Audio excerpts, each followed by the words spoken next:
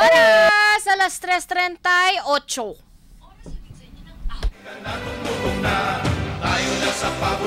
Ito importanteng importanteng text kaya unahin ko na mabasahin. Good uh, good PM TTWP.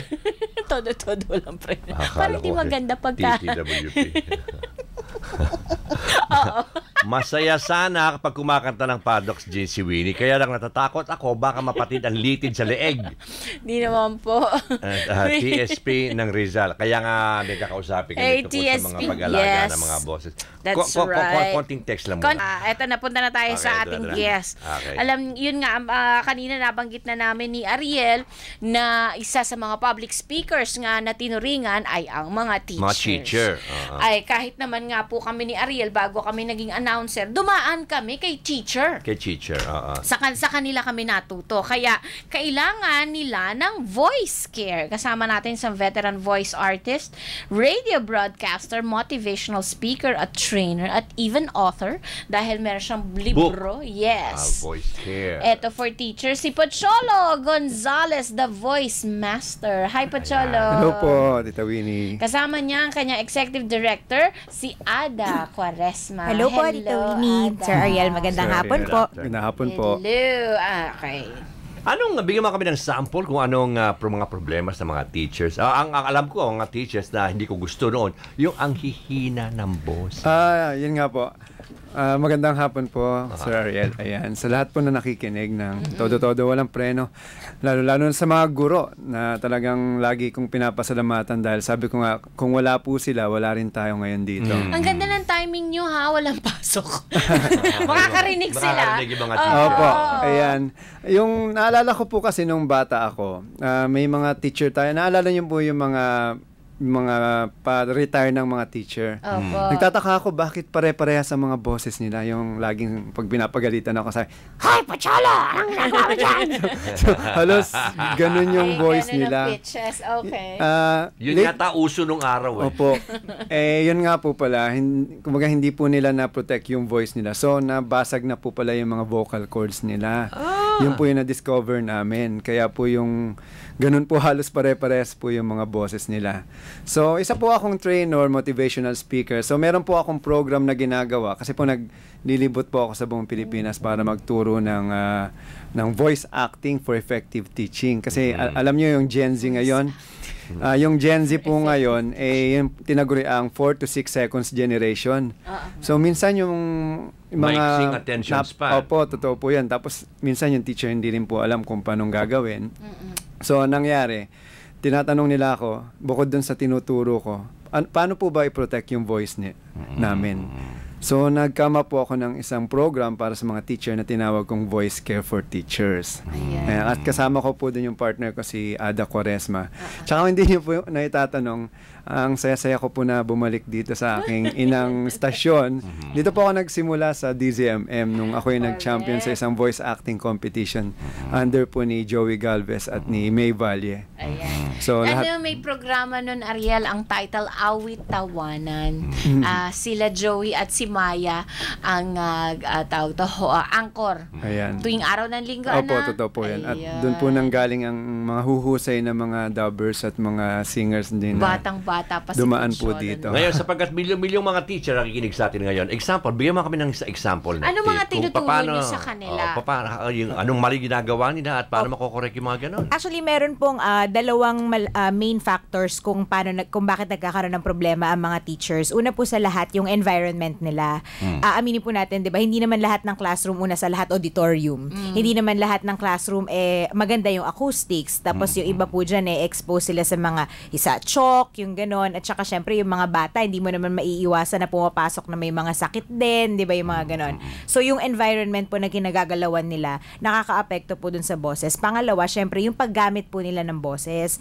Ah, ang teachers po, sila po yung pinakamarami na tinatawag nating professional voice users. Nakatulad po natin mga broadcaster, mga host, ah, puhunan po natin talaga yung boses, Boses, natin. oo. Pero kumpara po sa atin, ang mga teachers, mas grabe yung demand sa boses nila on a daily basis. Kasi po, 4 to 6 hours in a day nagtuturo sila sa classroom. Ang estudyante nila nasa 40, 50, sa mga public schools nga, umaabot ng 70 students pa po.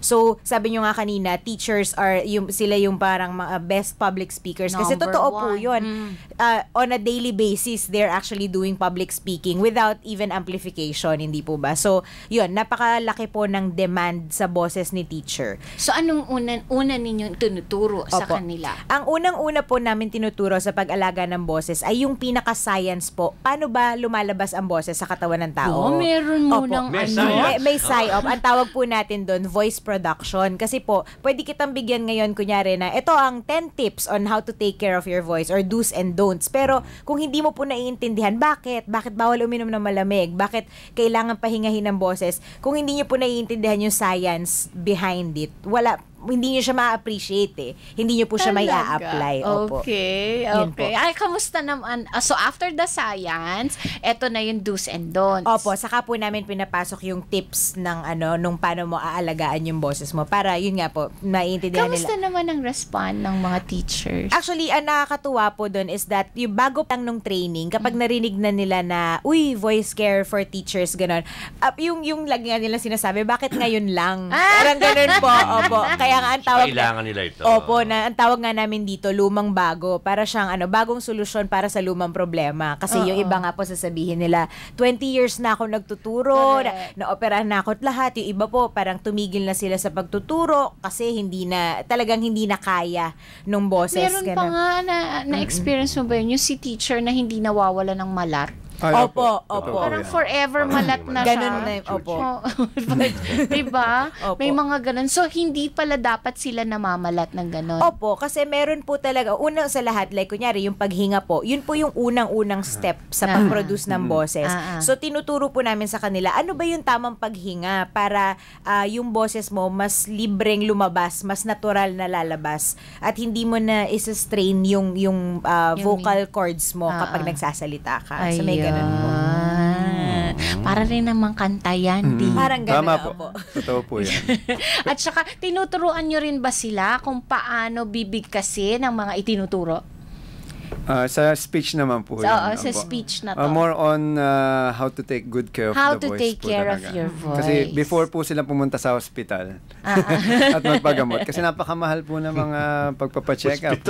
Imagine niyo At ang dami na pong naman. cases ngayon sa mga teachers. Every time po na naglilibot kami sa mga schools, ah, mula Luzon, Visayas at Mindanao, pag nagte-testimonial po talaga sila, umiiyak pa talaga sila. ganun. Kasi napakamahal po talaga ng pagpapagamot sa lalamunan. Lalo-lalo na pag naoperahan na yung laryngitis, pharyngitis. Meron ba kayong session ngayon? Ah, marami po kaming mga invitations sa Ah, iba't ibang really? eskwelahan mula Nice. Luzon, Visayas at At Mindanao. you can uh, get hold of uh, of uh, Pocholo's book kung hindi kayo maka-attend sa Opo. kanilang uh, sessions. Uh, available na ito sa market. Ah, sa online lang po mabibili. yan, yes, ma'am. and maglalag on. Sa www.voicecarefilippines.com. Yun po ang aming website. Ay bago tayo magtapos, magbigay naman kayo ng top 3 para maka maalagaan ang Hmm. boses na hindi lang ng mga teachers, pati ng lahat ng tao. Ayan. Ayan, sige po. Number one, uh, drink plenty of water. Hydration. Kasi, uh, Bakit? Opo. Di, Kaya nga tubig Opo, ka ng tubig, di- di ba? Dehydration po ang number one na kalaban ng ating boses. Kasi po, ah, ganito po yun eh. Yung, yung vocal cords po na tinatawag natin, nasa lalamunan, ah, parang dalawang muscle po yan na every time nagsasalita ka, nag, nag-open close. So, parang ah, tinatamaan nila yung isa't isa para Yes. ma-produce yung boses. So, opo, nagva-vibrate po. So, dahil dyan, syempre may friction. So, kailangan po lagi siyang moist, lagi siyang lubricated.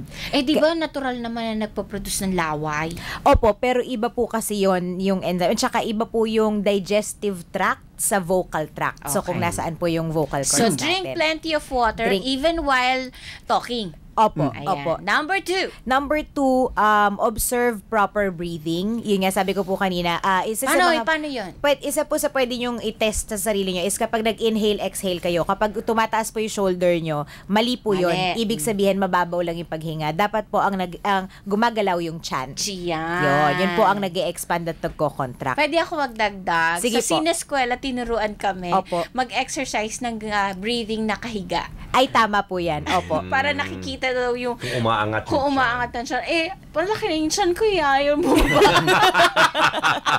Number three! Number three, uh, lagi po natin sinasabi, get plenty of rest. Siguro kahit naman po hindi lang sa boses, hindi ba? Pero ang nakakalungkot po dyan is sa lifestyle natin ngayon. Eh. Medyo, medyo parang humanly impossible na ang 6 to 8 hours of sleep. Pero pagdating po sa pag-aalaga ng boses, meron po tayong tinatawag na voice nap. Parang power nap po yan. So, uh, para po sa mga voice users katulad natin, ang ang general uh, rule po is for every one hour kang nagsasalita, dapat meron kang voice rest na 15 minutes. Hindi ka magsasalita. Na hindi ka magsasalita. ng 15 minutes. Opo. Kada isang oras. Ayan. Parang power nap Tama. po yan ng boses. Galing. May may isa pa akong tanong sa inyo kasi Ano po? nagiging problema to sa mga ano. Ano ginagawa? Ano ano magandang ah, gamot Remedy? o remedyo kapag Ayan. yung nagkapausan Ayan. na? Yung mga may laryngitis, pharyngitis. Ganun na Ayan, magsalita. ako po, nagka, nang, nangyari po sa akin one month Luya ako ba nawala yan? ng Luya? boses. Isa po sa pinakamagandang gawin natin ay mag-gargle tayo ng maligamgam na tubig na may asin every day, pagkagising at bago matulog. Miski walang sakit. Opo, kasi ah, yung asin at yung maligamgam na tubig, yan po yung naglilinis ng ating lalamunan. Yung mga mucus dyan nawawala po, yung mga hindi kailangan. Kung um, tawag dito, talent ho yun eh. Kasi kailangan daw, di ba pa Cholo, Ada, yung pag-gargle mo, makakarating Abot sa, sa- ilalim na hindi nyo malulunok. Totoo po yan. At hindi Tama. ka rin maduduwal. Tama po. diba? Ang hirap nun talaga naman. Tsaka yung luya po, actually, hindi po siya maganda kasi nakakasunog siya ng lalamunan. Kasi doon sa sobrang Opo. Ang, mentholated. ang ginagawa niya lang po, nagsusuth siya ng ating feeling kasi menthol po yung Ah, luya. ah. So Pero maganda po talaga. nakakasunog pala siya. Opo. Ang dapat talaga ah, maligamgam na tubig lang Na po. may O kaya yung tinatawag nating room temperature na water. Eh, yung ginagawang tsaa na ginger na luya, hindi rin? Sa labas. Ah, okay lang po Oo, 'yun kung parang ano, ganyan. kung iinumin pero hindi siya yung Gagawing panggamot. candy? Opo, hindi Kaya talaga. pala hindi mo epekto sa lolo ko. Opo, hindi nakakatulong. tapos ta- ta- tapos ah, may mga nagsasabi na huwag daw iinom ng malamig na tubig. Opo, napakasama po Talaga? talaga na. Kasi Kasi hindi naman masarap kumain ng kapag hindi, okay lang po yung pagkakain. Wag lang po yung after mong magsalita ng Salit- matagal. Kasi nga parang Bago at mapapasma. pagkatapos. Opo. May tama po. ganun Opo. eh. Pasma quote unquote. Tsaka yung wag po kayo mag-whisper kung masama na yung pakiramdam. Wag Wag, na lang po magsalita. Kasi pag nag-whisper ka, whisper. Yung ganyan, anong ginagawa mo? Yung, kasi Oo, ang, oo, ang oo. problema po, ini-strain natin lalo yung vocal cords. Kasi ang tendencies po ng vocal cords ay mag-vibrate. Yan po yung natural niyang ginagawa. eh, pag, nagwi-whisper, hindi po siya nagba-vibrate. Try, try nyo po mag-whisper, hindi nyo po mararamdaman yung vibration. Anong ginagawa mo? So wala pong vibration. Whisper. Ako lang At saka para na, na sumisikip po yung pakiramdam nung sa tsaka lalamunan. mas may effort kayo. Opo. Opo, nag-whisper. totoo Eh, po kaya yan. nga nagwi-whisper para i-save yung Hindi po voice. yun Hindi nga totoo. daw. Hindi na-save kapag Hindi, hindi. Hindi oo, po. makulit ka. yun po yung mga misconception na marami. Kahit ako po yun din yung mali ko. Nung inaral ko po siya, ah, So, ang talagang keep nating quiet. alam. Opo, wag na lang silence magsalita. for Opo. 15 Sulat nyo na lang yung gusto mong sabihin hanggat maaari. Talaga? Galing-galing. Isa pa nga po, kaya po isa sa mga tinuro namin sa workshop, tsaka kasama rin po sa libro, is yung may mga activities po at tsaka, at tsaka strategies kami tinuturo sa mga teachers kung paano mas magiging involved at participative yung mga estudyante sa classroom. Kasi syempre, kumbaga, ikaw, hindi naman, ngayon hindi na po nag-work yung isang oras yung klase mo, isang oras nagsasalita ka, nagle-lecture ka. Dapat po may mga activities ka na parang ang tawag nga namin doon Sir Pocholo, Gamification. Tsaka 80-20 rule. Kumbaga, 8, ah ah, 80% nung effort or nung activity sa classroom dapat nangyayari ah, sa student, tas 20% lang yung si teacher. Parang May ganun, ganon. po. Opo, tinuturo na. Kasi syempre, para ikaw din, indirectly, ang, ang, ang epekto nun, nape-preserve yung boses mo, and then of course, parang mas natututo pa yung bata. mga bata. Opo. Maraming, very interesting. Maraming maraming salamat, Thank you Ada. po, Thank you po. Sir Ate. Sa Again, paano kayo nakukontak? Yeah. Yes po, ah pwede niyo pong bisitahin ang aming website www.voicecarephilippines.com Or At, visit ang aming Facebook account, Voice Care Philippines or Voice Care for Teachers. Yun. Nice. Yan, hanapin niyo na yung pangalan namin, Pucholo Gonzalez, the Voice Master, and Ada, Ada Quaresma. Quaresma. Ang Cell- cellphone, bigay mo. Meron cellphone? Yes po, pwede niyo po kami i-contact sa